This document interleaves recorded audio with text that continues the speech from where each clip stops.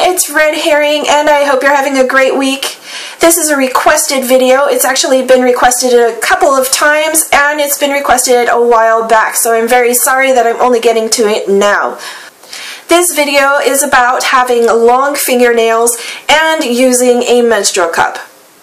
So, how do I manage my menstrual cup while having long nails? My nails aren't really, really long right now. They do have some length on it, but I've been trying to keep them short because every time I try to text somebody, I get duck, duck, duck. Yeah, that's not what I was trying to say. First of all, my nails are natural. I don't have any type of acrylic or gel or um, silk wrap. I don't know what's out right now. Uh, I'm just going to keep referring to it as acrylic, whatever you have. So, uh, because I had acrylic a long time ago, it was probably about over 10 years ago, uh, I went to a salon and I got a mani-pedi petty mani, whatever you call it, and uh, I got staph infection on like four of my toes and uh, two of my fingers. So I stopped going, and um, it has been over 10 years, and my nails are still kind of uh, really wavy and bumpy. I, I still have some signs that something was wrong with them.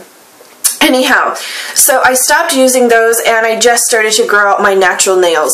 And uh, it is different than having uh, acrylics. One, acrylics usually aren't very scratchy. When I had acrylics, I would try to scratch myself and it was always like rounded and it would just feel like butterflies fluttering my face. So I would have to use like an orange stick or a back scratcher to actually scratch myself because my nails didn't do anything. So if you have acrylic nails, you probably don't have as much problems as somebody with natural nails does, just because they're a little bit more rounded. However, the length might be what you're having a problem with. So if you grow out your nails naturally or with acrylics and you allow them to grow naturally, uh, it's easier to handle or manage because you don't realize that they're growing. So you just make make all these little, you know, adjustments when you're actually using your menstrual cup. But when you go from a very short nail to a very long nail, like when you get acrylic tips put on, you suddenly find that everything is harder. From wiping yourself after you use the toilet, to buttoning your pants, to picking food out of your teeth. So if you're planning on getting acrylics or any of those other types, ask for a short tip. If you get a shorter tip applied, then you can get used to your nail growing out. It won't be such a chore when you're trying to do your regular everyday activities. Inserting your menstrual cup probably won't be the problem. You can angle your nails into the cup instead of pointing them outward.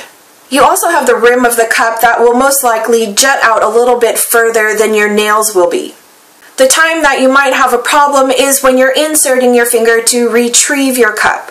So for me, I would angle my nails inward this way and usually I kind of put them together uh, on top of each other like this. So when I insert my fingers, my nails are not poking me. If you think of it like a tampon applicator, those prongs are curved over. It's not until you push it up and out that it opens up to reveal it. Once your fingers are inserted, you can grab the base of the cup and then your nails are going to be pressed in toward the cup. Removal shouldn't be a problem after that. The other question that I was asked was how do I keep my manicure when I'm using my menstrual cup and washing my hands frequently? Find a good sticky base coat. The base coat that I used is actually rubberized, so when I apply it to my nails and then apply a nail polish over that, it has something to adhere to. Also, you want to find a really good top coat.